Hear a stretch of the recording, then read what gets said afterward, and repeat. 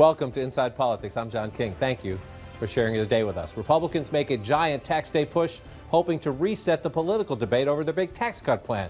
They hope there's still time to change what has so far been a terrible midterm election climate. Plus, the president promised there would be a big price to pay for that Syrian chemical weapons attack. The big surprise? UN Ambassador Nikki Haley is the one paying it to Comey in a moment, but we begin the hour with Stormy, Sean, and that court case that is a mix of bizarre and high consequence. The adult film actress Stormy Daniels was on The View just moments ago. She says she won't be threatened to stay quiet, but she says her newfound fame is not her central goal.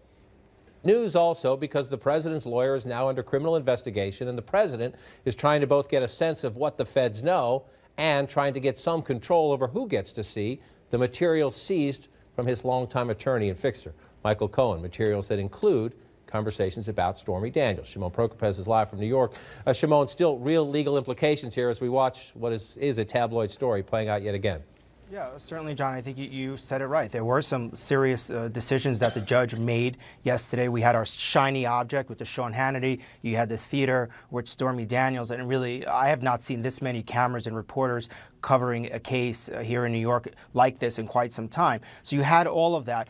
But legal implications here is that the judge has ordered the federal federal investigators, the prosecutors and the FBI agents who seized some 10 boxes, hard drives, electronics, all sorts of information, that they now have to share that information with Michael Cohen's attorney. Now, that's pretty significant. The prosecutor in court said he didn't want to do that. Uh, there were arguments, obviously, all day on that. But in the end, judge, the judge sided with Michael Cohen's attorney, uh, and they're now in the process of waiting to get this information. So what happens is the prosecutors are going to have to duplicate all the material that they have seized and send that forward that to Michael Cohen's attorney. And then what's going to happen is whatever material may be in there that pertains to the president, to Donald Trump, they will give that to his attorneys. So the president's attorneys will be able to see whatever material that is related to him that was seized by the FBI uh, early on in this case. This is unprecedented, and that is why the prosecutors here did not want to go ahead and do that.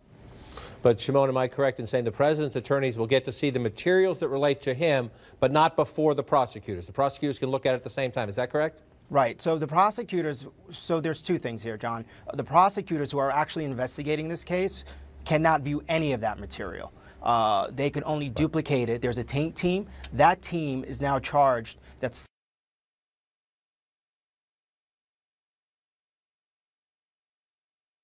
separate. They're not investigating it. They can review the materials just for duplication purposes. They cannot share anything that they find or anything that they duplicate with the prosecutors who are investigating the case complicated as we go it forward, is. but again, high consequence. The president's attorney, the president involved, Stormy Daniels involved because she says some of those materials likely relate to the settlement with her. Let's continue to talk about both the legal arguments and the politics. With me to share the reporting and their insights, CNN's Dana Bash, Michael Shear with the New York Times, Sahil Kapur with Bloomberg, and the Daily Beast, Jackie Kucinich. It is I guess it's not so bizarre anymore because it happens just about every day. Uh, but before you can start a noon show, you have to watch an adult film actress on The View, uh, because because look, she's she's she's making money off this.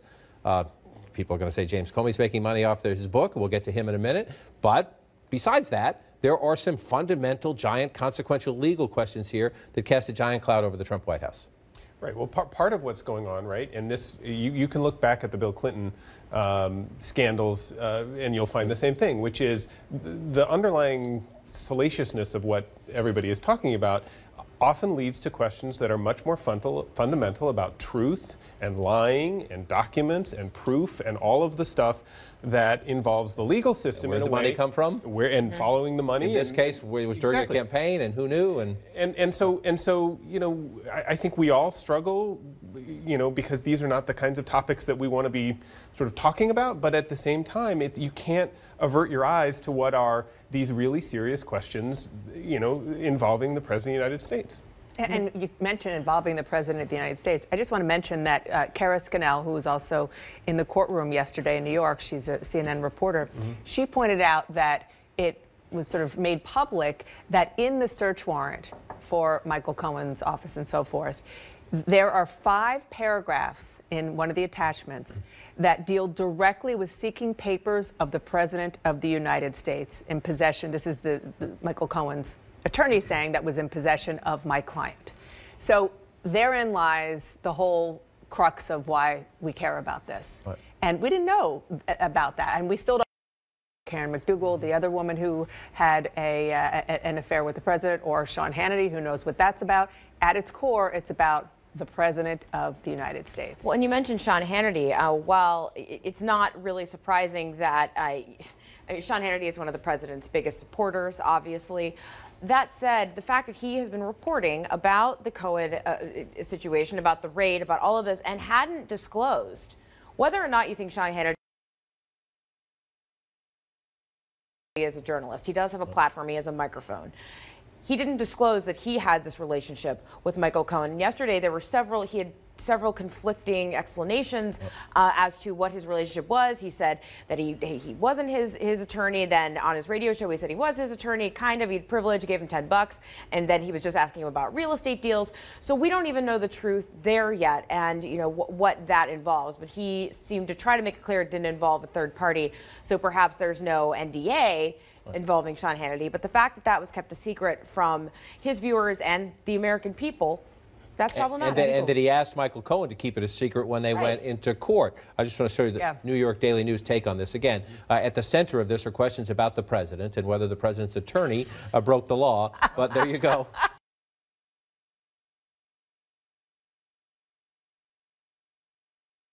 Uh, that's the cover of the Daily News. I want to. I want to come back to the. I want to come back to the point that you just made. I was going to get to this in a minute, but let's get to it now. Um, you know, Sean Hannity is not a journalist, uh, but Sean Hannity speaks on a platform that calls itself a news network. He speaks every night to people. A lot of people who support the president of the United States, who have every right to support the president of the United States, and he is. A, he is many times an advocate for the president's policies. Almost always. This is. This is Sean Hannity on the night of April 9th. Michael Cohen's offices have been raided. Sean Hannity has a relationship with Michael Cohen. Sean Hannity has sought legal advice from Michael Cohen. He needs to say that on television. Instead, he says this. It is clear, as I have been warning, Mueller is out to get the president, and it appears at any cost. Here's what happened. Upon referral from special counselor Robert Mueller, the FBI has raided the office, the home, and the hotel room of Michael Cohen, the personal attorney of the President of the United States. Keep in mind, Cohen was never part of the Trump administration or the Trump campaign. This is now officially an all hands on deck effort to totally malign and, if possible, impeach the President of the United States. Uh, number one, Michael Cohen was never officially part of the Trump campaign of the Trump administration, but he's the president's personal lawyer. He early in the administration came to the White House quite frequently. He was a frequent surrogate on television, and the search warrant for his materials asked for communication between Hicks and Corey Lewandowski, the campaign manager and a key communications aide in the campaign. So the facts, the context of what Sean Hannity says there is not correct. But he just also just needs, uh, it's, it is, forgive me, dishonest uh, to not tell your viewers, to not tell your viewers, look, I've had a relationship with this guy and I want to make clear, it wasn't a big deal.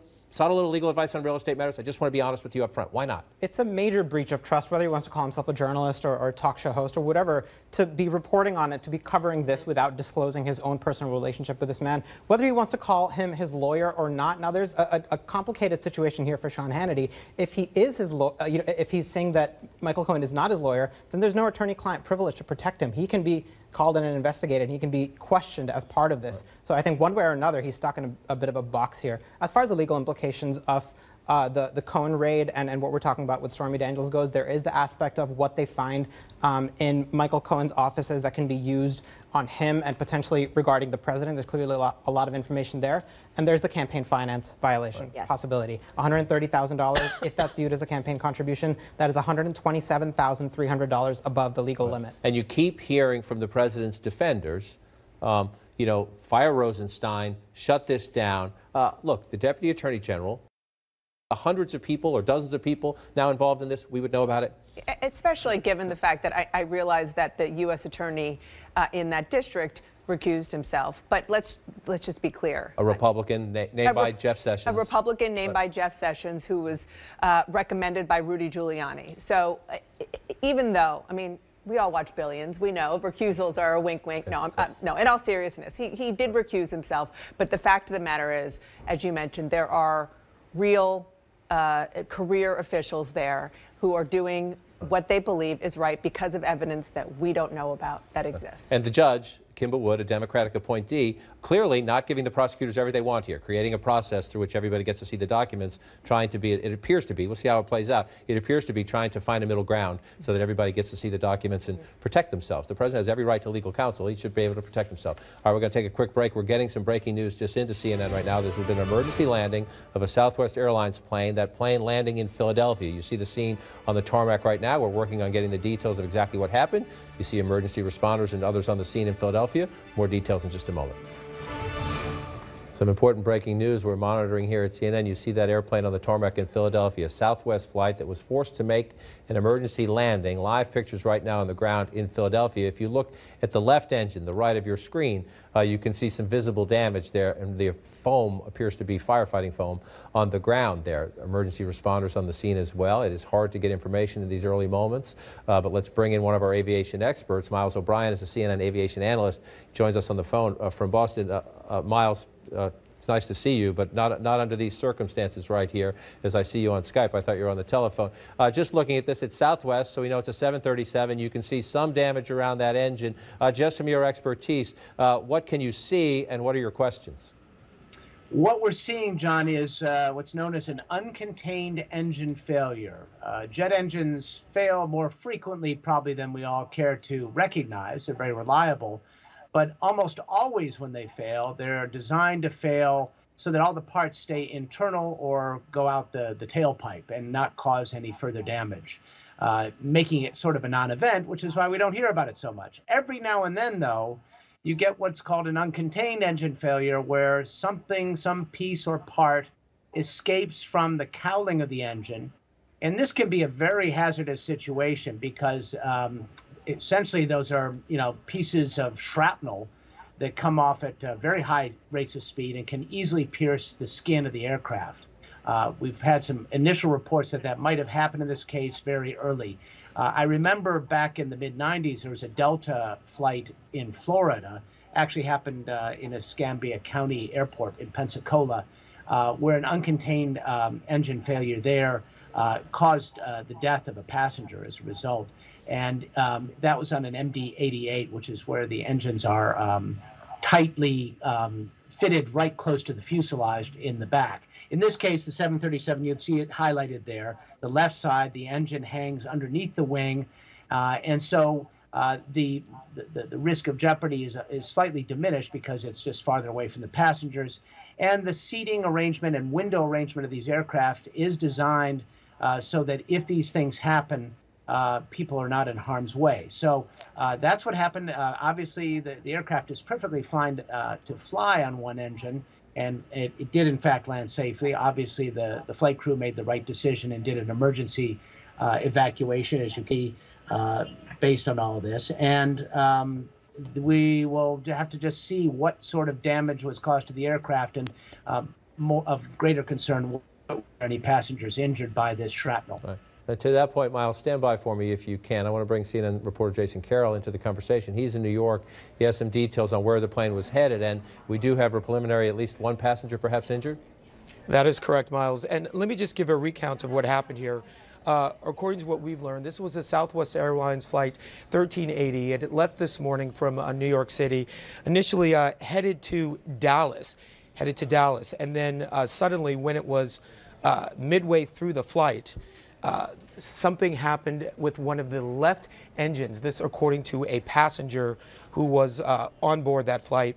He says uh, once on board, something from that, uh, something from the engine uh, injured, ended up injuring a passenger who was on board.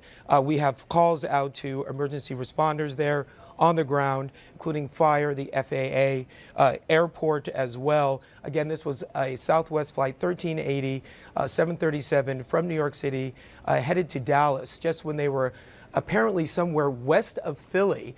Uh, something happened with the left engine, uh, and again, a passenger on board was injured. You can see the flight there on the tarmac. Emergency crews are there on the ground. We have calls out to fire, the FAA, the airport as well. As soon as we're able to get some more information, we're going to bring it to you as soon as we can. Jason, I'll, I'll let you continue your reporting, Jason, and please come back as soon as you do have more information. I want to go back to Miles O'Brien, our aviation expert. Miles, I, I want to caution our viewers, often in the early moments, as you well know, uh, the information you get, it turns out you either get additional information or the context can be a little tiny bit off. But if that information is indeed correct, uh, uh, I'm sorry, Miles, stand by for me. Chris, Christopher Johnson was a passenger on that flight. He joins me now on the phone. Uh, Christopher, please tell me, uh, you were heading from New York to Dallas. Uh, what did you hear and what happened on that plane? Yeah, hi, John. Uh, so we were um, leaving LaGuardia, heading to Dallas. Uh, we were west of Philadelphia, um, probably about 30,000 feet, and all of a sudden we just heard this loud bang, um, rattling, and then felt like one of the engines went out. The oxygen mask dropped, and then um, flight attendants did a good job. Um, the pilot came on and said we're diverting to um, Philadelphia, and you know um, there wasn't a serious medical injury. I don't know much about that, um, but I I was sitting in the front um, with a couple of passengers, and uh, we just got the mask on, and um, as soon as we landed, you know we, we were thankful. Um, the pilots did a great job. The crew did a great job um, got us down in Philly, and then that's when I took the photo of the engine, and it appeared that it just shredded um, the left side engine completely. So we we were coming down. We dropped probably from 30,000 feet to 25,000 feet, and then the pilot just kind of regained control and, and brought it down safely to Philadelphia. And that's where we're. So we got off the plane and on buses, and now we're trying to head over to the tar- tarmac over in Philly. And, and Christopher, as this played out, uh, you were so you were seated in front of where the engine would have been on the plane. Is that correct? That that's correct. So I was in the the first row in the bulkhead, um, and I felt it on my side. So and then as soon as we we just kind of calmed down, and then got um, there were several medical And- people on board that tended to the injured passenger, but um, like I said, I don't know much more information about that. I just know it was pretty um, scary, but the pilots did a great job. Uh, Christopher, appreciate that. I don't know if you can stand by for one second, but I want to get back to CNN's Jason Carroll, who has some additional information I believe is statement. Jason, step in. Right. Well, first of all, we can tell you that, again that that flight left from LaGuardia Airport. It was uh, bound for Dallas. It left at 10:43 a.m. this morning. It was supposed to land at 1:43, and according to a passenger that we spoke to uh, on board, apparently there was an issue with the left engine. Uh, a bit of shrapnel, uh, you know, flew off from the left part of that engine. Ended up somehow injuring a passenger on board. We do now have a statement uh, from Southwest Airlines. I want to read part of it to you. It says, We are aware that Southwest Flight 1380 from New York, LaGuardia to Dallas Love Field has diverted to Philadelphia International Airport. We are in the process of transporting customers and crew into the terminal. The aircraft, a Boeing 737 700, has 143 customers and five crew members on board.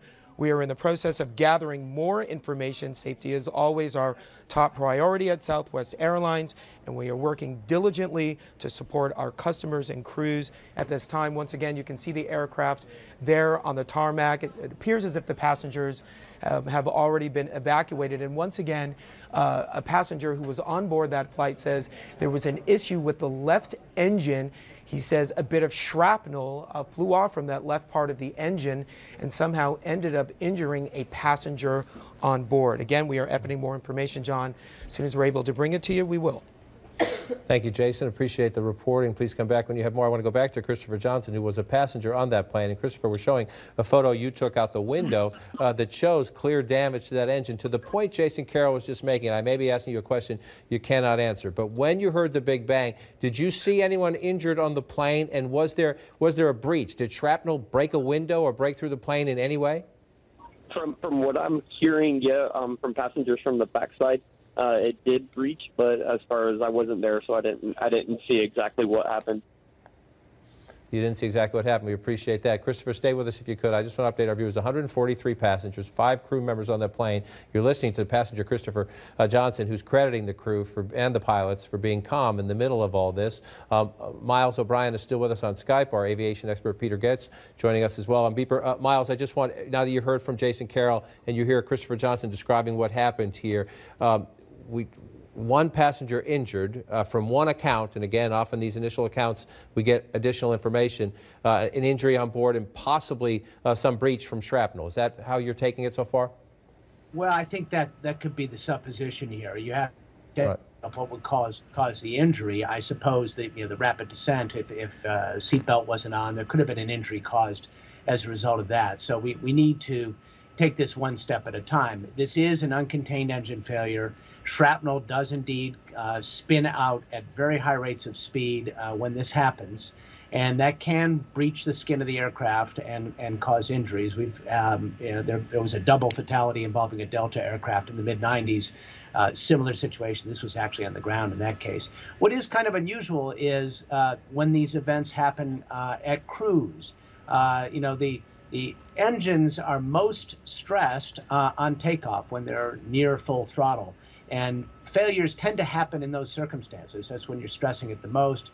When the aircraft is at cruise and the uh, throttles are back, uh, less likely to happen. But uh, then again, there's a lot of moving parts that are moving very quickly in a jet engine, and uh, one failure can, um, you know, tip some dominoes and cause a failure like this. Generally speaking, though, they're they're well designed to to contain all that shrapnel. So when they fail, it stays inside or goes out the tailpipe. In this case, it did not, and uh, we can only hope that the uh, whatever injuries there are are not too serious. Uh, Mary Schiavo also joins our conversation. Uh, Mary, from your experience at the Department of Transportation, uh, sadly you have some experience investigating these kind of things. A, from looking at the pictures uh, and from what we've heard, passenger aboard number one, saluting the crew, the pilots and the flight attendants for taking care, keeping people calm. One injury, it's unclear at this point. one person saying perhaps a breach of the plane with some shrapnel. Miles makes a key point, could also just be the loss in altitude. We don't have the information on that yet. The Southwest statement does not address the question of an injury. Uh, but Mary, as you look at the pictures and hear from these early accounts, uh, what comes to mind? Well, if there isn't uh, an injury or if, there, if, if, no one is hurt, it's very, very fortunate. You know, Delta had an experience like this probably 1996, 97, except theirs was on the ground. It was an MD 88, and the shrapnel pierced the cabin and actually killed a woman and her son. A baby in a car seat, by the way, was saved because the shrapnel hit the car seat. So this just points to how really dangerous an uncontained engine failure is. There have been many in the past couple years that have thankfully not resulted in any injury or uh, other than emergency landing, of course. But it's very, very dangerous. And of course, there are many things that they have avoided. An uncontained engine failure often leads to fire. Um, it can lead to other damage in the plane. There have been situations where it has lost uh, control surfaces have been lost, hydraulic systems have been lost, and that could affect your ability to actually control the plane. And in those cases, the planes were lost. So here, uh, you know, I would have to echo kudos to the flight crew for getting this plane down on the ground, quick thinking.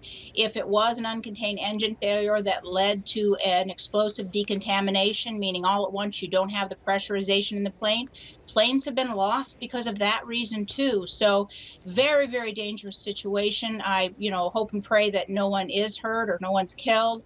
But if that's the case, everyone's very fortunate and credit to the to the flight crew. And Mary, quickly, what kicks in from a government investigative standpoint right now? Right now, the NTSB is on their way. They uh, might actually have people in the area working on some other things, but they're on their way. They will take control of this. The most important thing right now is going to be isolate those uh, uh, repair and maintenance records on that engine. Given there have been a number, and not on Southwest, on many different airlines, a number of uncontained engine failures in the last uh, couple of years, they're going to want to see if there's a pattern. Is there one particular repair or part? Is there something in this engine, maybe right from the manufacturer? That was the case of the Sioux City crash in um, in Iowa, where the, there was a flaw in the engine right out of the box for manufacturing, and over years that flaw grew, and the stress on the engine caused it to finally uh, uh, fail. So they, they are going to look at the manufacturer, maintenance, parts, anyone who touched that engine, uh, because we want to make sure it doesn't happen again. It, like I said, the plane could have been lost, many lives could have been lost. So they're very fortunate, and the NTSB will treat this as a warning flag. How can they stop this right now and find out if there are other parts out there? And that's kind of a pattern. If you have one bad part, you know, maybe a manufacturing flaw, maybe a supply chain problem on the parts supply, the NTSB is going to want to find that out and isolate that and put out a warning to other operators. It's going to be real important. They're going to look at the age of the engine. Maybe the engine was nearing its life, although it doesn't look like uh, from the screen. It does not look like a, an old plane, but it's really difficult for me to see the screen. So that's what they're going to be doing. And uh, of course, their first concern is always the safety and the lives of the people on board. They're going to look at that engine every way they can. And as we watch these pictures from our affiliates in Philadelphia, live pictures of the tarmac, you see the first responders, the fire crews, and others right around that engine. Uh, Christopher Johnson is still with us. You were a passenger on the plane. Christopher, uh, in dealing with the breaking news right off the top, I quickly moved away as you were telling your story, but I want you to take us back as we hear from our experts about how these things play out. You say you were at about 30,000 feet when you heard a bang. Uh, the pilot came on and said there was a problem. Just walk through. You said there was a drop in altitude, uh, and, and then it was a relatively stable landing from there. Walk us back through that again. Yeah, it, it definitely was a stable landing. Um, you know, we, we started descending, um, made the turn back to Philadelphia. Um, we were probably um, with one engine for maybe 10 minutes. And, um, you know, I watched it on the Southwest app where it just, uh, we decreased altitude from, you know, 8,000 to 5,000. And then when we finally um, landed, it was relatively smooth, um, kind of a typical landing. So the crew and the pilots did a fantastic job getting the plane down. And when you were on the ground, again, we have a report and we're trying to get more information, and it's nobody's fault. Information is often contradictory or it's hard to get uh, details in these cases. Everyone's racing to get off the plane, first responders. We have a report of one injury. What was the scene on the ground in terms of the flight crew get you off the plane? Were you taken to buses, ambulances on the ground? What was that scene like? So, I mean, they, they did a great job. They got us, um, you know, row by row, got us off. They tended to the injured person first, got them off the plane. Um, you know, and um, after that, you know, we got our stuff and just got on the buses, and now we're heading to the to the uh, hangar. Okay, we're told one passenger has been transported to a hospital. Southwest Airlines incident here at the, at the Philadelphia airport. We're going to continue to watch this play out. Again, uh, compliments to the crew and obviously the first responders. Uh, one person injured and taken to a hospital. Emergency landing. A Southwest Airlines flight left New York's LaGuardia Airport, was en route to Dallas. An emergency landing, you see it right there because of that engine failure in Philadelphia. Again, our reports now are one person injured. We're going to keep tracking this breaking news. When we come back, James Comey's book is officially out today. He continues his publicity tour, and the White House doesn't like it.